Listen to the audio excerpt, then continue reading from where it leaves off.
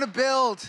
I'm your host, Matt Forte. We are here live at the Build Studio in New York City. Now, if you're a morning person, then uh, you've seen our next guest all over your television. Now, of course, as the co anchor of NBC's Today Show or MSNBC's Morning Joe. And most recently, you can catch him as anchor of Sunday Today with Willie Geist. The show recently celebrated its second anniversary and provides a sharp, conversational coverage of the day's news and gathers fresh voices for a Sunday discussion of everything from politics to pop culture. He's also just launched recently the Sunday Sit Down with Willie Geist podcast, which offers uncut, full length interviews and conversations with guests like Emily Blunt, uh, Chadwick Boseman, and yes, Bill Murray. Uh, he's a busy guy for sure, and I'd say I honestly don't know how he found the time to come hang out with us, but it's 11 a.m. And after 20 years of working morning shows, I'm pretty sure that's like 4:30 in the afternoon for him. So he's probably just trying to stay awake. I'm super excited he's here. The great Willie Geist is in the house, ladies and gentlemen. How do we feel about that? Huh? That's amazing. You are correct. You are correct to applaud as such. Uh, but before we bring him out, we're going to do it in just a second. But before we do, we have a quick look at the show. So, Luke, let's go ahead and uh, run that clip. Are you aware, Bill, of the mythology that surrounds you? That there are websites about your exploits showing up Yeah. at bachelor parties. There's a documentary coming out trying to verify all the stories about you. Yeah, and they want me to be in it. I'm like, I don't. What? A documentary about myself? I think I'll wait till after I'm dead. Yeah. But, But do you realize that there's a Bill Murray thing that he might he might turn up at your wedding and do a picture right, and you? I get a lot of uh, wedding invitations. But yeah, I don't know what to make of it. It's I'm not. There's no plan there. I don't have. This wasn't my plan. It feels kind of nice, you know. You know, people like like you, whatever. But you know, I'm just there's no plan because this exists. This kind of thing exists now. I can't like. Okay, well, I've got. Gee, I've got to work on my mythology stuff this afternoon. You know, it's like you know, you can't, you can't like. Oh Jesus, what am I doing about my myth, hon? What am I doing about the myth today? It's not like that, you know. It's just What goes through your mind? Let's say there's a couple taking wedding pictures in Charleston, South Carolina. Hmm. You see him over there. You could keep walking, nobody would notice you. When you drop in on those photos, what are you thinking? well, that kind of a thing is like you just look and you go, oh my God, there's two people that are in love, really in love, and there's a difference. There's people that are getting married, and there's people that are in love.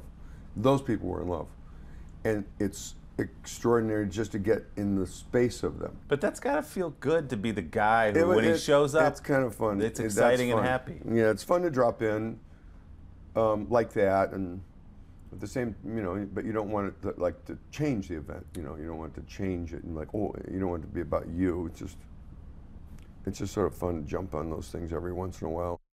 So cool. Ladies and gentlemen, make some noise. The great Willie Geist. Come on. How's it going? Oh, man. I, this is wonderful. Willie, thank you so much for being here, man. And Thanks for uh, having me. Can I commend, first of all, yeah, please do. the bar in the green room? oh, yeah. Sensational. 11 o'clock in the morning. They've got every scotch you've ever heard of. There's Drambuie. There are liqueurs I've never heard of. I haven't had any of them yet. I'm going to wait till after the show, but good for you on that bar. Thank you. For, and if I may, if I may toot my own horn, the fine selection of assorted nuts and, and dry snacks. Incredible. yeah, well, we try to take care of you. Yeah, dried trail mix, all kinds of good We've got it all stuff. back there. I also want to point out I have more than one pair of shoes. These Okay. were the same shoes I had on in the Bill Murray interview. Yeah. It's purely coincidental. I do have a second pair of sneakers. That's well. I was I was going to ask you that. I'm comforted by that knowledge. Willie, thank you so much for being here. Uh, there's a lot I want to talk to you about. I want to get into that Bill Murray interview. Uh, I want to talk about Sunday Today, two years, the whole nine. Before we do any of that, the beauty of Build is we do have a couple of minutes to be here. So I always love to start uh, just very simply. uh, How are you? How is Willie? How are you doing, man? Oh, I didn't know this was like uh, The Sopranos, like sitting on the couch. Yeah, man, we're going to go deep. You're Lorraine Bracco, I, and I'm Gandolfini. Uh, I'm doing great. I'm doing great. I got um, two great kids. I got a 10 year old and an 8 year old. I got a job I love, two jobs I love. Doing Sunday today, talking to people like Bill Murray every week, and then during the week I do Morning Joe, where I get to talk about the biggest story in the world, and that is the presidency of Donald Trump. So I'm good. How could I complain? Life is good. Uh, that's that's fantastic news, man. And uh, you know, I- actually, I want to I want to touch on something you just mentioned. You have two fantastic jobs. Uh, and for a while now in your career, you've wor- you've been the morning guy. You've worked a lot of mornings. I know this is such a dumb thing for me to ask and open with, but I'm genuinely curious. What's your body clock like at this point? Like, when are you going to bed and waking up? Not a dumb question. It's the first thing everybody asks me. Yeah. And I I used to ask that too. Like, how do you guys pull that off? I've done it for. I started Morning Joe 11 years ago, so I've really been on this schedule for 11 years. I get up at 4:30, um, but I'm not good at going to bed. Like I should go to bed at nine or 9:30. I probably go to bed closer to 10:30. Last night I think I went to bed at 11. So, but it's not a complaint. It's just a fact uh, of of life. And I think people said, well, you probably get used to it over 11 years. You don't really get used to it. Nobody gets used to that, but you learn how to manage it. Yeah. So it's okay. I've got to eat at 10 a.m. or I've got to go to the gym at this certain time. You have to like just keep the ball in the air until be- until bedtime comes again. And especially if you have to do something at night, like last night and the night before, I've got to go out and do an event or something, and you really have to start over another day. Like take another shower, have something to eat, and pretend just trick your body into thinking like, all right, we're starting this thing over again. I just have this image of you going on vacations with the family, waking everybody up. Come on, it's 3:30 in the Oh, I morning. we do that. do-" No, you don't. Well, not 3:30, but I think I, What's the earliest you've ever made everybody else get up? Well, I get up at probably like five, or like I'll stretch it to six later in the week because your body starts to get a little more comfortable. But I am always like I've been out here on the terrace trying not to wake you up for the last three hours while my kids are asleep. That's pretty fun. Well, thank you for, for indulging me on that question. Of uh, course. So I was very curious about the lifestyle. Uh, as I mentioned, uh, and we talked briefly about this backstage, the, the Bill Murray thing is fantastic. We got to see a great clip of that. And uh, I listened to the podcast earlier this week and, and, and heard the whole conversation. Uh, talk to me. How, how'd that all come about? You mentioned that Bill said, I want to do that thing. But did you guys have to call the 800 number from there? Like, what, what was the process leading up to So that? So, for people who don't know, to get in touch with Bill Murray, he does not carry a cell phone. He doesn't have a publicist. He doesn't have a manager. You have to call a 1 800 number where he has an old school voicemail system. It's like an answering machine from the 80s. And you call and you say, Hi, uh, Bill, this is the NBC Today Show. We'd like to do an interview with you. We think that'd be great, and here's why you should do it. You might hear back, you might not hear back if he's interested. And by the way, it's not just to book him on a TV show. If Wes Anderson wants Bill Murray to be in Isle of Dogs, he's calling the 1 800 number. it's crazy. So he did, I will say, this wasn't in the interview, but he showed me he has a Blackberry, but it's just for, he has six sons, and it's just for family and super, super, super close friends that he might res- respond quicker. So we left a message for my show for Sunday. We didn't hear back. He did come in to do a weekday Today Show live interview, so four or five minutes. And he walked into the green room, and all of our bookers were there on the Today Show, and he said, I want to do that Willie Geist show. And they all went, Oh, you do? We never heard back after we left the 1 800 thing and you didn't say anything. He said, Yeah, well, I want to do it. And so I was, I couldn't do it in that moment because I was interviewing somebody else for the show. Luckily, he was sticking around and he said, Have him come to the hotel at 10 o'clock tomorrow morning. So I went to his hotel at 10 o'clock the next morning. There's a little bar, like a rooftop bar, set up some lights, cameras, and he gave us an hour of his time and there was no rush. Because when you don't have a publicist, there's nobody over your shoulder going, Wrap it up. You just vibe with him until you feel like he's, he's done. So it was great. That's a you know, and you've talked about this before. That Bill Murray, for you, for a lot of people, he's the white whale. He's the one that you want to get. It's impossible to find him, track him down. You got him. You landed him. How do you prepare for that moment? Have you been preparing your whole life? Yeah. Like, Well, that is a funny thing. I remember I interviewed um, Mick Jagger a few years ago, and I was raised on the Rolling Stones. My dad, my uncles, everybody loved the Rolling Stones. And I remember at first being like, "You're nervous. It's Mick Jagger, and this guy, he's been an icon in your house." And I sat down across from him, and something happened to your point where I went, "Wait a minute. There's nothing to be nervous about. I know everything about this person. There's nowhere this conversation could go that I won't be ready for it to go." And I kind of feel that way about Bill Murray. I mean, I grew up in the '80s. I was born in the '70s, grew up in the '80s. So Caddyshack and Ghostbusters and What About Bob and Groundhog Day and Kingpin and all the movies um, were just part of you know we can recite every line. So there was no there's no nerves about it. I think the only wild card is like you want to make sure he's into it and you suck him in and you show him it's going to be okay. And I think that takes a few minutes. And then when he sees, all right, this is a, a safe place where I can give a long answer and tell a story and um, all of a sudden it just it was the same thing like with Mick Jagger. You just go. Yeah, Yeah, see, and you can sort of, as someone who does these uh, with such somewhat regularity, as I'm listening to yours, I can hear you sort of sussing them out. I'm going to start with the with the movie stuff. We'll get them comfortable, yeah. and then you start you start massaging the conversation. Then you land a big one, which was I was fascinated by him talking about the mythology, him talking about Garfield, Yeah. all these different things. Yeah. In your head, are you quietly freaking out? We're doing it. We're getting it. This is this this is the stuff. Well, you're right, and you know because you do this, you can sense right away if somebody throws up the wall and they're giving you short answers, and you can, like, you've sort of blown it, and this is going to be a short interview. But he was, I guess, the fact that he asked to do it showed a good, a first step. Like, I think this is going to be okay. I've heard it's okay. So he knew it was probably going to be all right for him. And then as we talked and we had a good conversation, and we were born in the same hospital in Chicago and all these other things that we sort of had in common. Um, you know, we we did a bunch on his career, but you know, you also want to be careful not asking the cliche stuff. You know, like, can you recite a line from Caddyshack? Can you say the thing about the Dalai Lama being a big hitter? You don't want to be that guy. There's fanboying out, so you try to find more interesting parts of his life and career to ask about. But yeah, when I saw it was going okay, I was like, let's talk about the mythology, the thing where you crash weddings and bachelor parties, and like, why do you do that? Do you think about doing it? And I had never heard him talk about it. I really hadn't and I could see that he was happy and willing and maybe even excited to explain what had happened in all those different cases. Is fantastic. Uh, so let me ask you this: you, you had about an hour with him, which is uh, incredible. But a guy like that, you can talk to for six, seven, eight. You can talk for a whole whole week.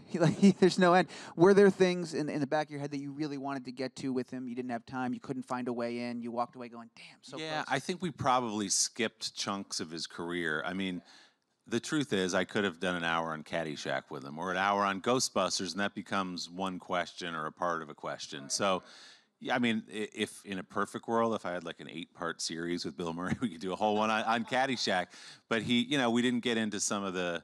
We kind of jumped from the '80s when his career and life blew up, and then got to sort of Mount Rushmore and Lost in Translation.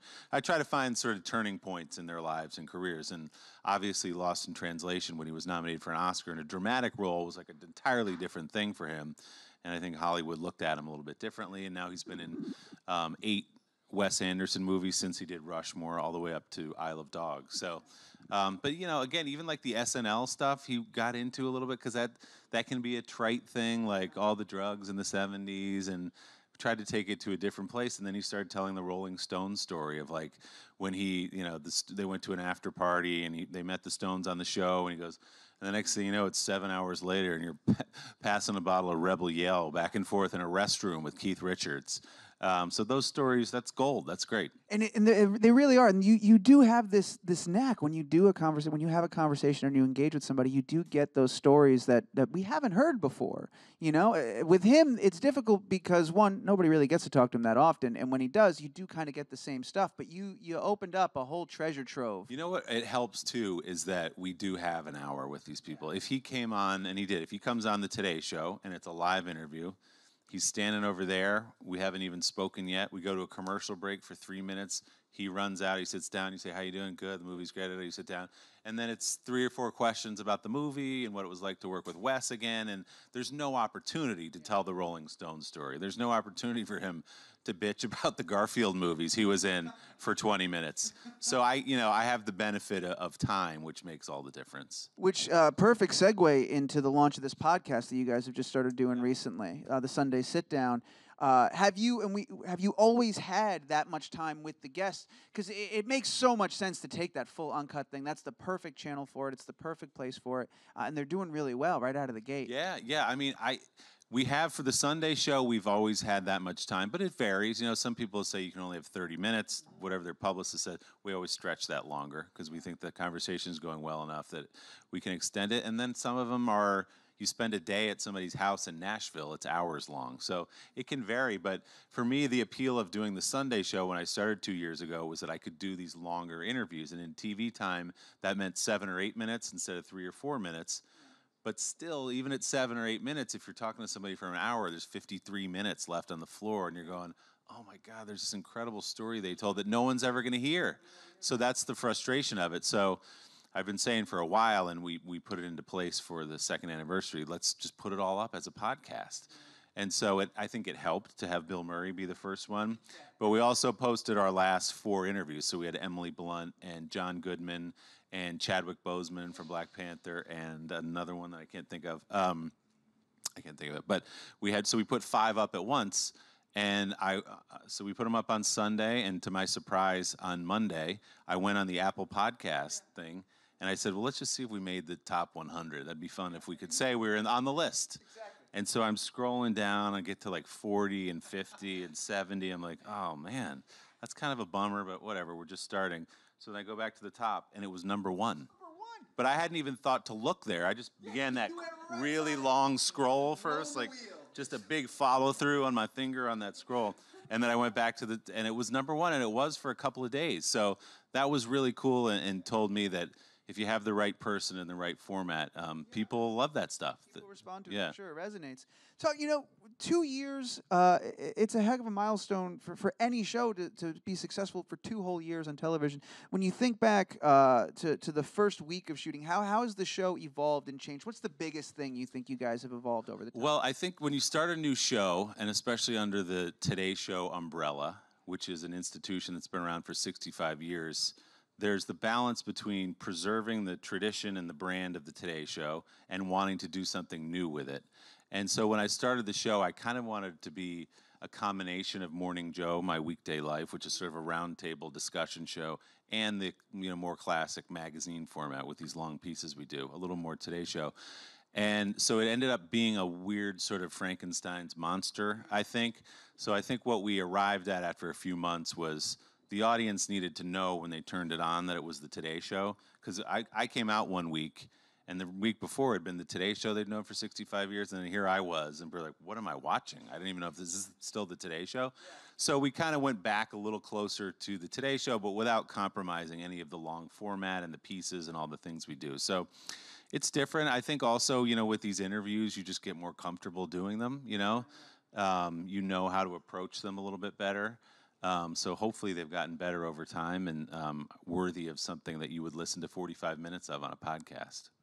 Do you remember uh, uh, the moment in which you started to feel uh, uh, a greater comfort in going into these interviews? With you know when when that turn when you turned that corner, how long ago that was? How Yeah, I mean, the good news is I'd been doing the Today Show before that for six or seven years. So I like it wasn't that it was uncomfortable, but I never really got an hour with somebody before. So to me, it was like you don't have to rush into the the whatever they're promoting. You don't have to rush into the interview.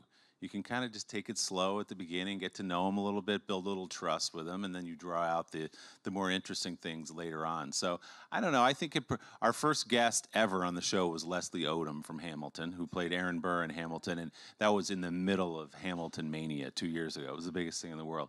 So that was very exciting. And then my second guest was Ice Cube and and we went. He was in town. We rented a '64 Impala, and I drove around Harlem with Ice Cube, and it was like these crazy like they let little pieces of your childhood dreams are coming true in front of you. So I, I just think it's reps. I don't. I can't think of a particular specific interview where it changed, but I just think every time, still, still, every time you get a little better. For sure. You know, uh, speaking of Morning Joe, uh, it's the show Sunday today, but it, it doesn't all happen on Sunday. You work on it throughout the week to make it get there. How do you how do you navigate those those two obligations and, and float between those two different worlds? Well, so Morning Joe's on from 6 a.m. to 9 a.m. So that's a pretty finite window that you know you have. And then, you know, at night, there's a- good amount of preparation before I go to bed. You sit on the computer for an hour and suss through what we're going to talk about the next day. And in the space in the middle, I'm working on um, ideas for the Sunday show, or we're booking guests, or I'm writing the show because I write the, the show on Sunday. And, um, so yeah, it's a it's a balance, and a lot of times you've got to run out and do an interview. You know, we did, you know, it's kind of a feast or famine thing. I think in two weeks we did six of these big profiles. It's just like who's around, who's in town, what's your need, and then you sort of like chill for a while, and then we'll ramp up again like next week. Um, so it's um, you know, it's it's a fine balance. I uh, one of my deals was if I'm going to do Morning Joe during the week and Sunday, I'm not actually going to come into the office on Saturday because I have to see my children one day a week, maybe, and go to like their baseball game. Um, So I, but it's not a day off. You do a call in the morning, you do some writing, you check in again before, you got to go to bed early and all that stuff. So it's a packed schedule, but I asked for it and I wanted it, and I've got a Today Show with my name on it where I kind of get to do whatever I want. And so it's a lot, but it's a it's a good balance. And my philosophy always has been to just add to the plate until you until you physically can't eat anymore. You know, keep going back to the buffet. It's a very Italian mentality, I can tell you that. um, I, I, want to ask, you know, we mentioned Morning Joe a bunch of times, and recently, uh, and this also ties back to the Bill Murray thing. Morning Joe, uh, they did an SNL bit, and you were part of that bit. Like they they parodied you. Yes. You came away unscathed, but still, I got to imagine that's both a, uh, uh, terrifying and hilarious moment for you when you realize this is happening. Well, I was saying to you, so I go to bed. As I said, I have to go to bed a little earlier than I used to on Saturday nights now, and to wake up early in the morning, it's just text, text, say, "Oh my God, SNL, SNL," and all the tweets, and you're like, "Oh dear God, do I do I dare look?" And they've done it twice now. They've done Morning Joe twice now, and I end up sort of just being a V. They're not trying very hard with me. In fact, I'd like Lauren, wardrobe, hair, makeup, everybody. Try a little harder with my character. They got harder. Joe and Mika down. Got Yeah, that. Oh, they crushed Kate. McKinnon does Mika, and then I'm just kind of a throwaway over here who they use to ask questions of. Actually, Bill Murray was in one of those. He was playing Steve Bannon, and I was like asking him questions across. So I think it's Mikey Day who, Yeah, Mikey Day plays me. the Love the guy. I think he's funny. I just like to see you exert a little more effort in my in my look. I can help you with the hair, whatever you need. Let's talk. Have your kids seen the, the SNL version of Dad? Yeah, they're like that. Supposed to be you? That doesn't look anything like you. Yeah, but they love SNL, so they think it's just cool. Yeah. There aren't many things they acknowledge are cool about me, professionally or personally. So when they heard that, they're like, "You were on? Oh, okay, we'll give you that one, Dad. That's one. We're gonna give you one." Yeah, Didn't you do the voiceover for uh, what was it? I want to say Kung Fu Kung Fu Panda. with, I don't even. I don't even get that though. They don't get No, no. So Kung Fu Panda three, Al Roker and I were cousins of Jack Black's character. We were called Dim and Sum. Yeah, that's right. Yeah. And I was dim. And Al and I went in and did an entire day of voiceover. We read, we were all physical and like, we're, wow, you know, you've seen those behind the scenes thing. And that was us. And we're like, this is amazing. So we go to the premiere. We're like, we're in this movie. They, we, my daughter brought all her friends from school. We had like 25 seats blocked off. Al brought his whole family. And we we watched the movie, and we the only thing they had of us was just us going, Wahoo! and no spoken words. We were in there for an entire day. And so the movie ended, and Al and I were like, oh boy. We're looking around at these like 50 kids that we brought to the movie, and they were like, Was your dad in this, Lucy? And then luckily my name was in the credits to prove that I had screamed that line. So I've been given grief now for like three years since then. They're like, You were not in that movie. Yeah, you weren't. You were not in that movie. So I pretend I, they they it annoys them. I'm like, you know, it was so fun working with Jack and Angie. Because they're so real offset and it's really about their families more than anything else, and their kids are great. The twins, I think there's some twins in there somewhere. Um, so my kids get very annoyed when I talk about being a big movie star in Kung Fu Panda 3. That's pretty Rightfully amazing. so. Yeah. There's, I mean, th- those are fantastic stories, but I think just uh, it, is a dad's destiny to not be cool. Like, you know what I mean? I know. Like, is is there a cool dad?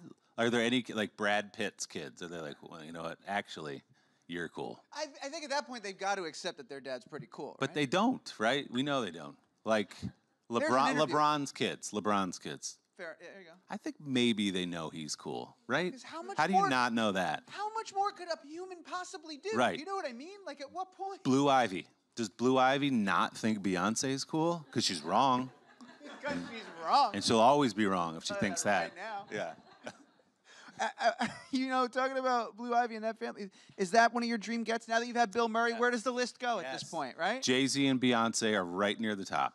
And I would take them separately. I would take them together. I would take them with Blue Ivy. I would take them however they want to want to do it. In any capacity. I grew up in New Jersey across the river on in the suburbs on hip hop in the 80s when it was first like leaking out to the suburbs. And so um, he came he came a little after that obviously, but he would be he's always been at the top of the list. He's pretty selective in the things he does. You do get to a point which is like the Jay-Z Beyonce zone where it's like, yeah, I don't really need to do press cuz I'm me, and people are just going to buy it, so I don't have to worry about that. Um, but I would love to talk to them. Um, Mark Zuckerberg, I would love to do. We've done a ton of CEOs on the Sunday show. We've done the Instagram guys, Jack Dorsey at Twitter, um, Airbnb, Brian Chesky, The Lyft, Brian Zimmer. Um, we've done all those guys, but not Zuckerberg. He's a little more bubble wrapped than the rest of them. Um, but given especially the last couple weeks, I'd love to talk to him. Seems to be talking to a lot of people these days. Yeah, Seems to. yeah, I know. How about us? Um, and then Mick Jagger. I got to go back to Mick. I got to get because he hasn't done. I've interviewed him, but that wasn't for the Sunday show. So I needed him or Keith Richards. I would take as well. Yeah, Together, right? yeah, both. Sure, the Glimmer twins. Well, you know, it's a, yeah, and uh, as you do uh, all these different people, now you got the, the the Bill Murray chip, right? So, you, well, Bill Yeah. Murray's done the show, yes, and that's got to help. that's not a bad one. I Yeah. w- I, mean, I've got. Not a lot of people have that. We've chip. got the Bill Murray chip. We've done President George W. Bush. Like we've got some people at the level where you can we can be like down, yeah. presidents and Bill Murray have done this show. Yeah, not- you should not- too, Beyonce. exactly. She does watch the show. We haven't had her on, but I know she watches. I know, yeah. You religious. Yeah. Yeah, and that's not to discredit the chips you already had. You have amazing chips, but that Bill Murray chip, That might be the that's chip. a coveted chip. That in fact, we did two parts on his interview. It's usually just one isolated segment, and it was our two-year anniversary. And I was like, "There's there we got it." So I think we ended up doing like 11 minutes of Bill Murray, which in TV time is nuts, nutso, but still not enough. That's why we have the podcast. Yeah. Well, speaking of not enough time, uh, I got to turn it over. I promised the audience they'd get to ask Oh, questions. Uh, I believe we have some microphones out there. We're going to take our first one right here. Who does your couches, by the way? Is it a Raymour and Flanigan situation? it's a nice. It looks good. They're comfy too. Yeah, nice. How you So I'm a huge fan. Thank you. Um, I grew up watching your dad on TV as well. Talk about cool dads. Yeah. Uh, what are some of the lessons you learned from your dad growing up? He is a cool guy. He is a cool guy. Um, you know, my dad worked hard. Um, he was not not in any way uh, vain. He came up as a newspaper writer, so he has none of that like cliche TV ego thing. And that's a really good lesson that like you can do a good job and just separate yourself from all that garbage. And he, you know, people always ask me if he, you know, I'm in TV because of him. He and I never had a conversation about that ever in fact, he encouraged me when I graduated college because I was kind of into doing TV because I'd intern the summer before. He like he made me. There were guys in our town in New Jersey who worked on Wall Street, so I had to like go out to lunch with Mr. McGillicuddy who worked at you know J.P. Morgan. And I was like, what? I had nothing about finance or math or whatever they do there. And then uh, and then my mom made me go up to um, Hartford, Connecticut to sit down with a family friend who worked at Northwest Mutual Insurance. And again, I was like, what? Um, so they like sort of tried to, they wanted me to know what else was out there. But he never had the conversation with me except that I watched him, you know, and I watched that he got to travel to cool places and meet interesting people. He always had stories to tell. You know, when we were sitting at uh, parties or at a dinner table, he was always the guy with something interesting to say, and he liked his job. You know, I think like that's a huge thing that people overlook. He didn't like trudge home on the bus every day and go, "Oh God, that was awful." He would come home on the bus and be like, "Look at this person I met today," you know. And it started when he was a writer at the Chicago Tribune. Then he was a columnist at the New York Times, and then CBS actually because they someone Don Hewitt who started 60 Minutes liked his column, and they said, "You ever thought about doing TV?" And he said, "No." And they said, "Why don't we shoot a pilot using one of your columns as the sort of the source for the piece?"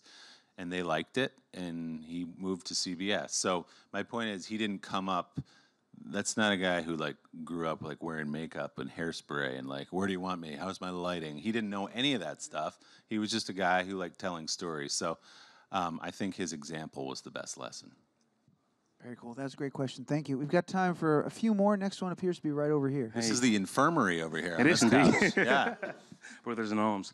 Um, I was going to say, uh, when you look at uh, the years you spent in journalism and specifically the work you do on Morning Joe, what would you feel was a big threat to reporting the news these days? Or what do you feel is a bigger threat when you look at certain administrations promoting the truth as fake Yeah. and promoting the idea of alternative facts, or the sections of population that are blindly willing to fake, accept something as fake news Yeah. without doing any research? Well, I think the biggest threat is just the complete undermining of trust in the press and the undermining of trust in, by the way, the FBI and the Justice Department. It's a, you know, it's a strategy. It's a strategy that the president has. It's a strategy that the administration has, which is to make you think every time you hear something, you better consider the source. Remember, that's the same media that lied to you about this, so you better not believe this. Or that's the same FBI that Robert Mueller used to lead. So you're really going to trust the findings of his investigation. So I think from our side of it is we can't do anything to prove that correct. We can't feed that narrative. We have to be extra diligent with our facts and getting to the truth and not being petty and not playing fast and loose and, and falling into narratives. We just have to tell the truth as we know it. So, like the president had a news conference with the Japanese prime minister yesterday, and he said a bunch of things that weren't true. And so we just, rather than from where I sit, and it's not everyone's approach, rather than coming out of that and being snarky or whatever, just detail, go through them, and and and here's what he said, and here's what's actually true. There's always going to be a segment of the population who thinks we're not trustworthy, and I think there have been cases over the years where we've maybe earned um, some of the criticism that we get in terms of bias, but um, it's incumbent upon us now, I think, to just be just nail everything down and get your story straight and get your facts straight so that you don't give them the opportunity to say, see, there they go again. It's not going to work with everybody because there are people who, who love him and follow him and believe him and whatever he says goes. And whatever Bob Mueller finds out, they're going to think it, they're not going to believe it because he's planted this seed.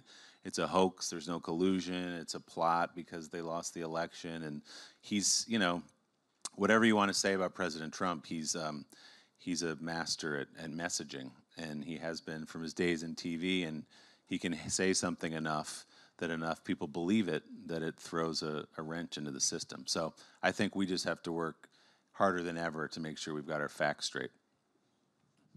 Thank you. Another great question. We've got time getting the signal one more, and that's going to come from right here. Hi. How you doing? Um, I was just wondering what your uh, path was to becoming a TV personality and host, and was there anybody that you kind of modeled your career or, uh, or uh, you know, yeah, just modeled your Yeah. career out of?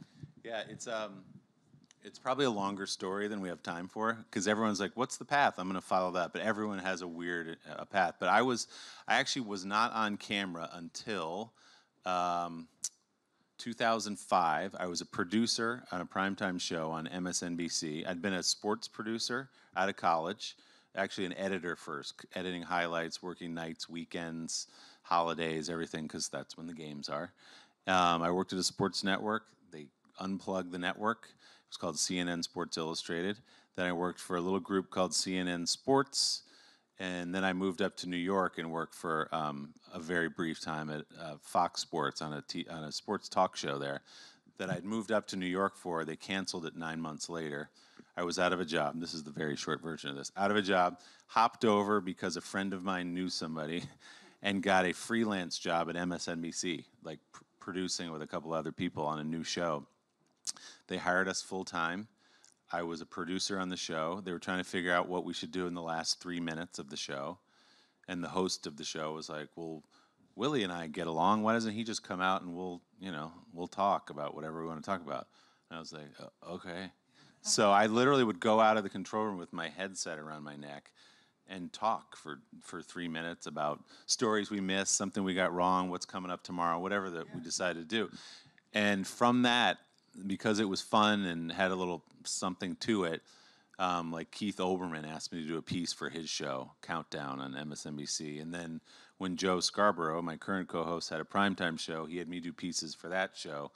And then the Weekend Today show said, Hey, we like those things you do for Keith Olbermann. Can you come do one like that for the weekend? And so it's just, and I'm still a producer this whole time. These are just extra little gigs. And then the real turning point was in April of 2007, 11 years ago, like right now. Um, Don Imus had a radio show that was simulcast on MSNBC from 6 to 9 a.m. And he said something horrible about the Rutgers women's basketball team. You can look it up. And he was fired. And so the next day, they had three hours to fill in the morning on MSNBC. And when I tell you they were like putting anyone on the air, it was like if you had an NBC ID, they were like, go do an hour. We need help. Fill in the chair. Go. Yeah.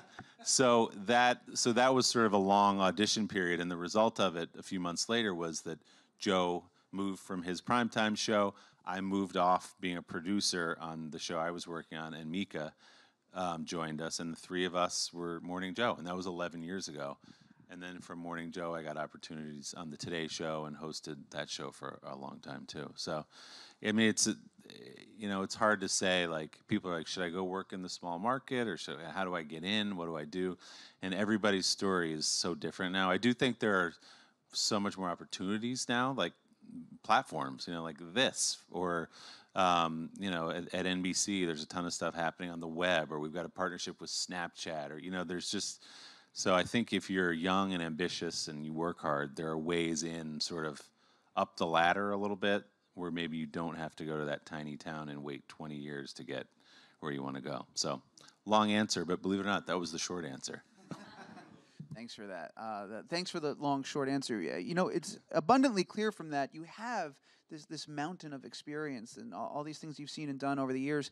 What, in your opinion, at this point, do you think makes for a successful morning show? Like, what what are the, the hallmarks? What are the things you need that, that you find really resonating? Well, I think in the day and age where everybody already knows everything because they woke up and read it on their phone, you have to offer some added value to it. So, so what do you? What does your show give me that I'm not getting everywhere else? In my case, it's 10 minutes with Bill Murray in a conversation that you might not hear somewhere else.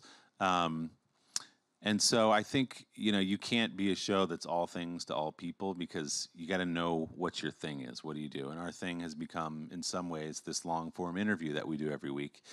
Um, Morning Joe knows exactly what it is. It's a political show, and it's like I always tell people, it's like they're like, you didn't do this international news story, and it's like, well, Sports Center didn't do the soccer highlights from India today either because like they're doing sports and we're doing American politics and we're covering the White House, and so know who you are, know your audience. Your audience isn't going to be as big and broad as it used to be, but they're going to be intense and they're going to stay with you and you might get more people when the news heats up. So, I think you have to know your know your show, know your audience and be hyper focused on whatever your thing is. Um, because you can't do that big umbrella. We're a little of this, we're a little of that. It's like, why, I don't need to watch that. I want all of that or all of that, you know. Sure. Well, uh, Willie, I, much like you and Bill Murray, I could sit here and talk to you for hours, man. I know. I, I, I got to let you go. I hope the you had a good time, dude. I had a blast. awesome. That's that's good to hear. I'm gonna go drink some Drambuie now. Please do. Let's Yeah. pour two out. Uh, everybody, reminder: uh, Sunday today with Willie. When's it on? Okay. Uh, I couldn't resist. I'm sorry. And the Sunday Sit Down podcast available. It's on Apple Podcasts, everywhere the podcasts are. You can get it right now. We, by the way, we've got Damian Lewis this week from Billions and Homeland, and he's amazing. So he's our amazing. guest. this week. Fantastic, guys. Make some noise, please. Willie Geist, everybody. Come on.